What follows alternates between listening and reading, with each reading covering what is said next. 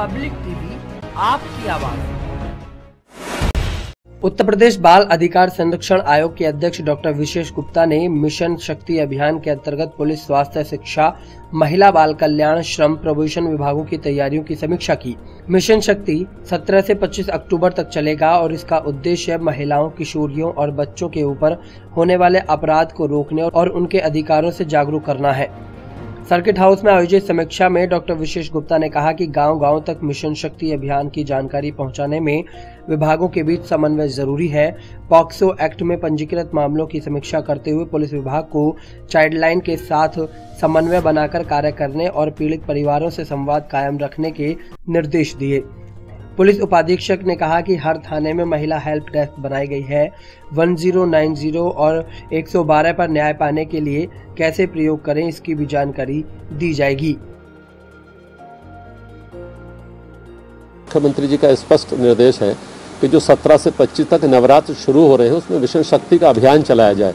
तो चूँकि उसमें महिला कल्याण, बाल विकास विभाग भी है, इसलिए हम लोग चूँकि बाल संरक्षण आयोग उसी का विभाग है इसलिए ये हमारा उत्तरदायित्व बन जाता है कि हमारे चाहे वो पुलिस विभाग हैं चाहे शिक्षा विभाग हैं चाहे वो महिला कल्याण बाल विकास है चाहे वो पुस्ताहार है प्राथमिक शिक्षा विभाग है माध्यमिक शिक्षा विभाग है बाल कल्याण समिति है जे जे बोर्ड है तो इन सभी विभागों की समीक्षा के अंतर्गत ये जाना जाए कि 17 से 25 तक आ, क्या स्थिति है किस प्रकार से इन सभी विभागों ने स्थिति की है। तो मुझे जो समीक्षा की है उससे लगा कि मिशन शक्ति चलाने के लिए या नाबालिग बच्चे, बच्चियों के प्रति जो अपराध होने वाले हैं, पुलिस ने आज ये प्रतिबद्धता दोहराई है कि तुरंत ऐसे बच्चों का संज्ञान लिया जाएगा। तमाम ऐसे बच्चों के जो भी उसमें अपराधी हैं उसकी तुरंत गिरफ्तारी होगी। भी अपचारी ऐसा नहीं है, जिसको गिरफ़्तार ना किया गया हो, जिसको जेल के पीछे न भेजा गया हो। तो हमें उन तमाम कारणों की भी आज मैंने समीक्षा की है कि आखिरकार छोटे छोटे बच्चों पर, जो छोटे छोटे बच्चे नाबालिग पाक्सों में जा रहे हैं, जो हमारे करीब सात केसेस ऐसे हैं, जो हमारे छोटे छोटे अपराध के कारण से बड़े अपराधों में बंद हैं, उनकी समीक्षा भी की गई है।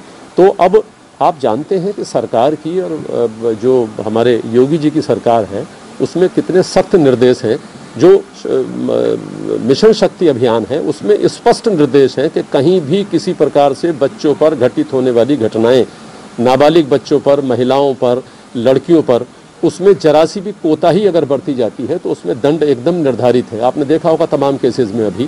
तो जो जो जो कमियाँ हैं, वो कमियाँ हमने स्वीकार की हैं कि भाई तमाम प्रकार के पॉक्सो का जो अभियान है, पॉक्सो का जो कानून है, उसमें तमाम प्रकार के प्रोविजंस हैं।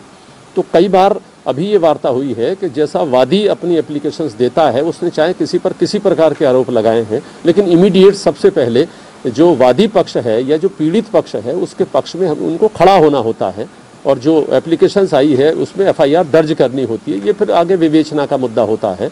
तो ये तो नहीं कहा जा सकता कि पुलिस कार्य नहीं कर रही है। आपने देखा होगा, चाहे वो कुंदारी, कुदरकी का मामला हो, बिलारी का मामला हो, चाहे वो यहाँ लोकल सिविल लाइन्स का मामला हो, मुरादाबाद में, या चाहे मंझोला का हो, उसमें काफ़ी सख्त कार्रवाई हुई है।